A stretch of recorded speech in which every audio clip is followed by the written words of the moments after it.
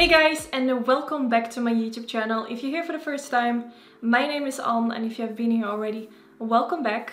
So Saturday was my birthday, I turned 27 and I wanted to film the eye look that I was wearing that day, which is also my go-to eye look. I don't wear it every day, but when I have like a special thing where I have to go to like a party or anything, um, this is like the eye look that I wear. So, so I wanted to wear it for my birthday as well because I didn't want it to do something like completely different because I wasn't really sure if it was going to suit me. So I just kind of played it safe and I went for my go-to eye look, which is this look right here. Also, I have a very special announcement, which is that my lash brand Annytude is back. I'm so excited. You can now shop my Annytude lashes on the website annytude.shop.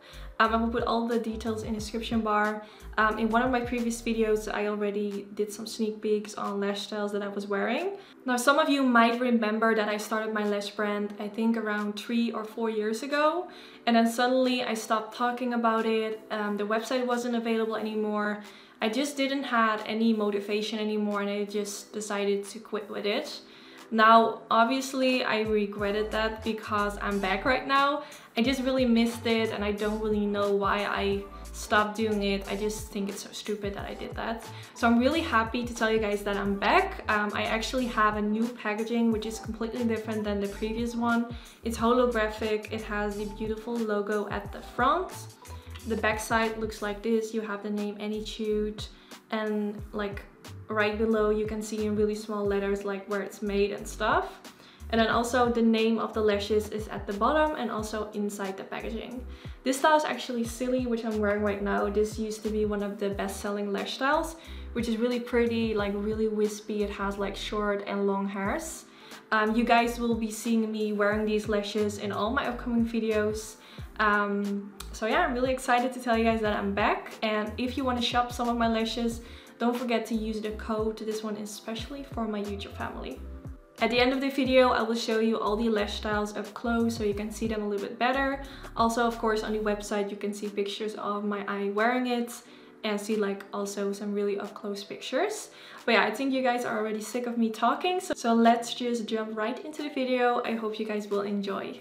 So the first thing I'm gonna do, like always, is priming my eyelids. I'm using the MAC Cosmetics Soft Ochre Paint Pot. And to apply this, I'm taking my Sigma Beauty P84 brush, which is my favorite brush to apply this eyeshadow primer. And it's also my favorite eyeshadow primer. As you guys know, I use it in all my videos. Then I'm taking this mineralized skin finish powder, which is also by MAC Cosmetics. This is actually a product that I normally use to kind of bronze up my skin but it's also really nice to use for in the crease area. It will just really warm it up. I think it's kind of like the perfect transition shades sometimes when I'm lazy and I don't feel like wearing a lot of eyeshadow I just blend this all over my crease like I'm doing right now. I finish it off with some mascara or maybe a small winged liner and I'm good to go.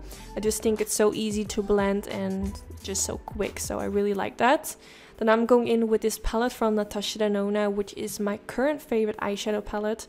I just really like the eyeshadow shades that I'm using in today's video, which is this one and some other shades that I'll be using in today's video.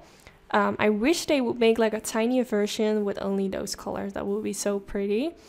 Um, but I'm gonna blend this shade all over the crease, go in back and forth. I really wanted my crease to have that really warm undertone, which this shade definitely has.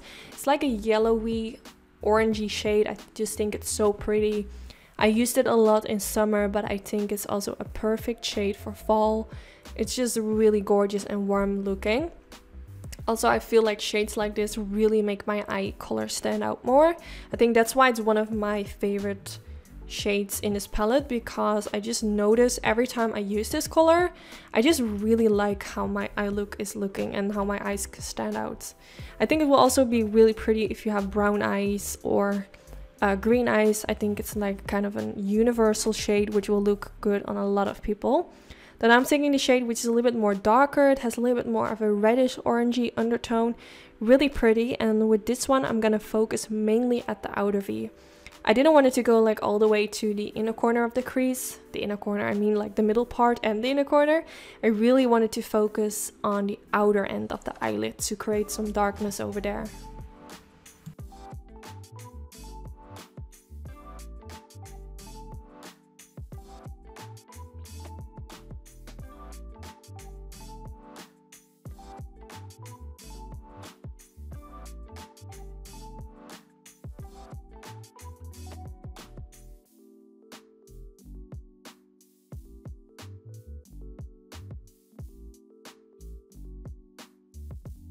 Then now for the next shade, I'm going in with this eyeshadow from Bobbi Brown. This is such a beautiful color. I bought it a few months ago when I was in Amsterdam and I saw this at a Bobbi Brown counter and I was like, oh my god, I need this, it's so pretty. Some, day, some days I just use it on its own like I'm doing right now um, but in today's video, I'm gonna use it in combination with this liquid metal from Stila, which is in the shade Kitten Karma. This is such a beautiful color. Mine is almost running out because I've used it so many times already, but this is so pretty to apply on top of this eyeshadow from Bobbi Brown. You can also use it on its own, but definitely with products like this, I like to use it on top of a metallic kind of eyeshadow. I feel like this way it blends better together. And then now I went in with a tiny blending brush, which is by Morphe. It's the M506. And I'm blending a little bit around the edges to make it look less harsh and just a little bit more blended into the matte eyeshadows. Then now for my eyeliner, I'm taking this Midnight eyeliner from Inglot. This is in collaboration with Jennifer Lopez, but I think it's actually the same gel eyeliner as their regular one. So if you're searching for a nice gel eyeliner, this one by Inglot is really good. And if you're searching for a nice drugstore one, I would recommend the Maybelline Studio Gel Eyeliner. Then now for the next step, I'm taking this liquid liner from Sam, Sam Marcel, not really sure how you pronounce this brand. Um, this is more like a liquid pen applicator, which I really like to use for my winged liner. I don't always use this on camera, but when I do my makeup off camera, I'm like, I just want it to be done as quick as possible and I feel like this pen is really nice for that. It's just easy to use, you don't need a brush and a separate eyeliner. This is just like a nice all-in-one product so I really like to use this lately. I do have to say it dried out pretty quickly so I'm always I'm already using my second one and I feel like that shouldn't be happening so that's kind of a downside but when it's not running out it's good but it does it just dries out quickly which is not really nice. Now I went in with this uh, concealer from Tarte Cosmetics in the shade light medium the Shape Tape Concealer is just so amazing. I've been using it for so long. I still love using it for the under eyes. I just think it's one of the best concealers ever. So now I'm using it to kind of clean up the wing liner. This will make it look more sharp. Also, I had a little bit of eyeshadow underneath the wing liner, which I wanted to be removed. So I'm just using this concealer to kind of cover it up. But now you can see how it's looking so far. I'm now applying some foundation and concealer off camera. And then now I'm going in with the Morphe Vibes pencil, which is my favorite pencil in the waterline. It's like a warm brown undertone kind of eyeshadow pencil. It's just really pretty. I use it in almost all my videos. I'm just using it for in the waterline. This will really warm it up and make my eye color stand out more. Then I'm taking the shade Jasper, same one as we used to darken up the outer V uh, of the eyelid. And now I'm taking a tiny pencil brush and blending this all the way underneath the lower lash line to really smoke it out. I feel like this eyeshadow is a little bit more vibrant than the pencil I use in the waterline, but the two shades are actually quite similar, so I feel like the pencil in the waterline goes really well with the eyeshadow. Now I'm mixing those two shades together on a tiny Morphe M506 brush and blending that underneath the lower lash line to really smoke it out and blend everything out so it looks a lot more better and smoked out. Then now I'm taking the Roller Lash Mascara from Benefit and this is actually a travel size. Um, normally I use their big one, but I'm running out of that one because I use it in every video. But um, travel size one is actually the exact same product. And then for my lashes, I'm taking my new Annytude Silly Lashes, which are now available on my website. I will put all the details in the description bar together with a special discount code for my YouTube family. So I'm applying this using my fingers and the lash glue that I'm using is by House of Lashes. I know some people are might gonna ask like why don't you have your own lash glue? I feel like the House of Lashes lash glue is one of the best. At least it's my favorite and I just want to continue using it. I don't want to try to make a better one. I just feel like this one is so good. So I'm just gonna continue to using it because I just think it's amazing. And then here you can see the end result of the eyes with the silly lashes applied. And then this is the end of the video. I really hope you all enjoyed. Don't forget to give this video a thumbs up. If you did enjoy, this is really helpful for my YouTube channel. Um, like I said at the intro, this is my go-to eye look and I just really like it.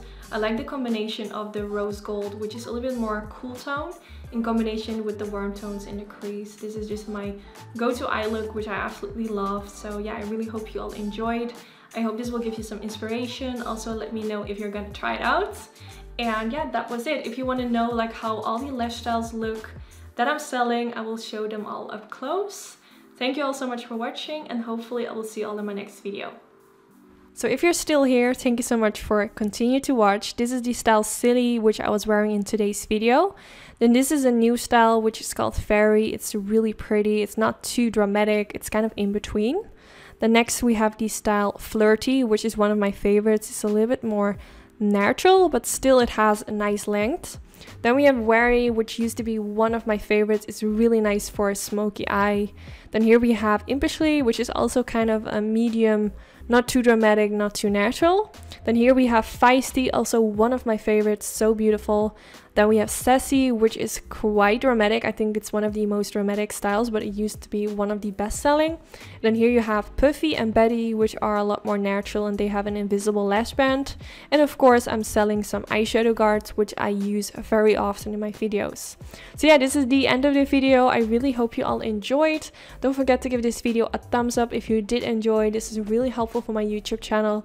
Also, don't forget to subscribe if you aren't already. This will be really sweet.